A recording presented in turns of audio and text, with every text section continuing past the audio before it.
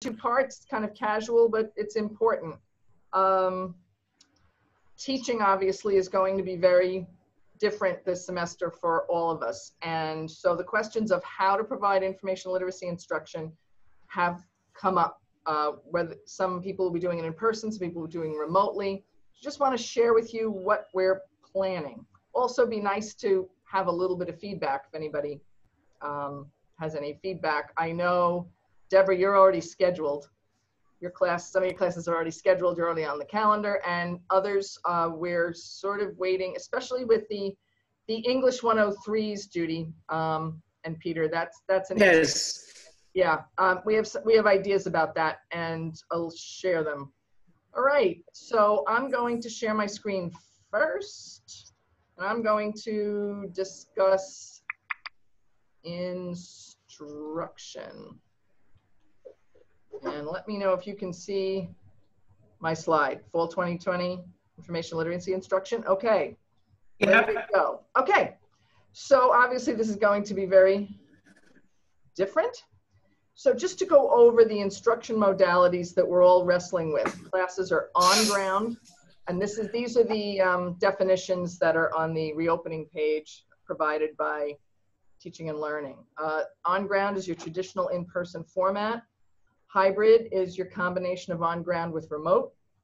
Uh, remote is the synchronous online meeting and online or the asynchronous, not in real time classes. So every one of our classes is in one of these, presumably.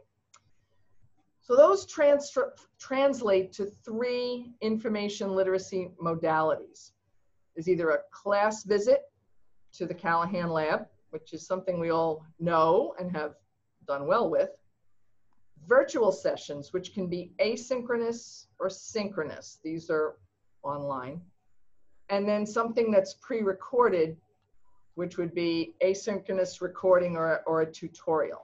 And I'm going to discuss each of these and, and which class it works best with.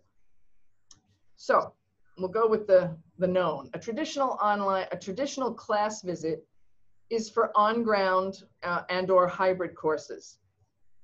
Faculty teaching hybrid courses have a choice. They may do an on-ground in the library session, or they may choose that their hybrid does the virtual session.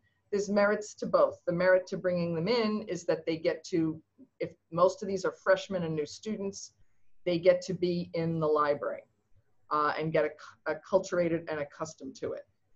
If you decide to do it in a hybrid, it's because you are trying to spend as much time with your students in person as possible. And they're both, they're both very acceptable, but we're, we're working with whatever you'd like. The complication for on-ground visits is that the L10 lab now has a seating capacity of 14 rather than the usual 28.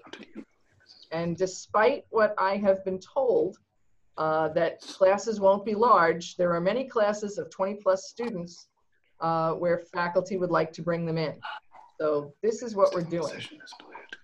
Um, somebody should mute, I don't know who. Um, so this is what we're doing.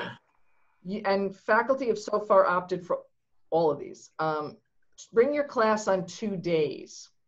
Uh, someone is doing this, he sees half of his class on Tuesday, half of his class on Thursday, and the class that's not in is Zooming.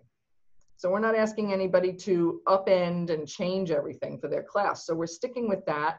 And on Tuesday, half of his class will attend a library orientation and he's doing something else with them online. On Thursday, they just flip.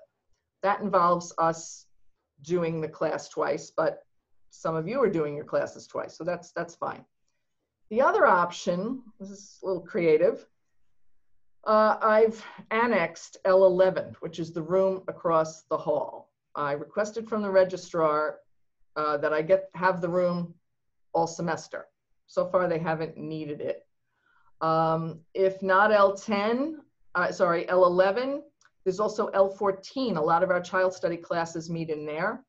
And from what I'm seeing online, L2 and L3 are being used sparingly. So in other words, we have other places to put students if your class has over 14 students.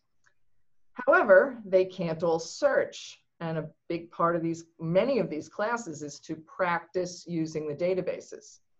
So I purchased 15 Chromebooks, 15 for each library because we have the same problem in Brooklyn. And what will happen is that depending on the size of the class, how it works, is that someone will teach, let's just say it's me. I will teach the class in L10 and zoom it to the screen in L11 where the students will have the Chromebooks. So when we get, they'll all see the same presentation. When the time comes to search, they will have the Chromebooks. What I'd like to do in that case is have another librarian cover that last 20 to 30 minutes of the class so that someone is there to help them. Um, can't run back and forth across the hall. The other thing we can do is Zoom breakout rooms you know, with social distancing, we're faced with um, not necessarily going over and squeezing in among the students to stand behind someone at their workstation. So we're going to practice with breakout rooms and see how that goes. Um, we know it won't be exactly the same, but we're really, really trying to replicate as close as possible so that the students are the most comfortable and you're comfortable with what we're doing with them. So this one is sort of a real time and it's for definitely for on ground classes and you may choose to do your hybrid that way. The second option would be to have a completely virtual session. Obviously the remotes will all have virtual sessions. The hybrids, this would be for the person teaching a hybrid who wants the library visit virtual. So that would be, uh, options include a synchronous lecture and an interactive lab demonstration, kind of what we had said before with um, Google, not Google, Zoom breakout rooms. Um, you could also just have an asynchronous video. We will send a video to classes that we have a lot of. Uh, we have a lot of, as Judy knows, English 103s, SJC 100s, um, SJC 200s, and the thesis classes, some of the uh, Child Study 400s, uh, the Psych 460s. So those, particularly some of the uh, departments that have a large number of small thesis sections, six students at a time, um, eight students at a time, we're going to create a video that shows the basics of what we're doing and they may view that in class with the librarian. You can either do it in real time, you can assign the viewing in Canvas, but in either event, you can have a scheduled follow up with the librarian. So let's just say your class is at 8 in the morning, and what'll probably happen is from 8 to 8.40, there will be the lesson, and then coming on at 8.30 or 8.40 will be the librarian assigned to your class. And say, okay, everybody log on, you know, make sure you're in this browser, whatever they're doing, and the librarian will be able to do more in real time live. And the third option is you just have them watch the asynchronous video and advise them to make an appointment with the librarian if they have a question. That's how a virtual session would work. And finally, just your plain vanilla recorded video. Please send my students a tutorial.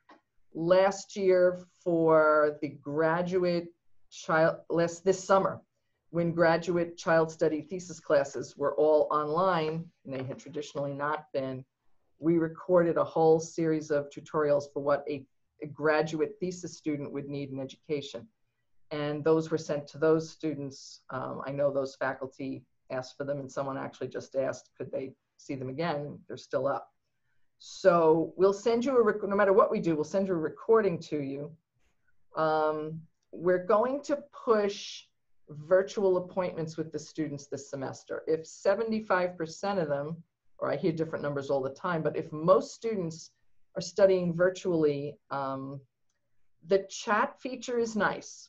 They can just log on and they say, you know, I'm having a problem with this or that. I see the logs. Some of these chats can run a half hour to an hour because they need a lot of help. I think would be better would be if they actually book an appointment uh, with a librarian because what happens is we only have a certain number of people covering chat at once. And if it's two people and one student takes up an hour, that's only one person for all the other virtual questions. So we know we're going to do a lot of virtual reference. We're going to try to encourage students to um, make an appointment with somebody where they know they've got that person's attention for, for an hour or so. We're going to say they're a half hour, but we will run over. Um, so we're going to do that. Uh, you'll get this. This is our instruction request form.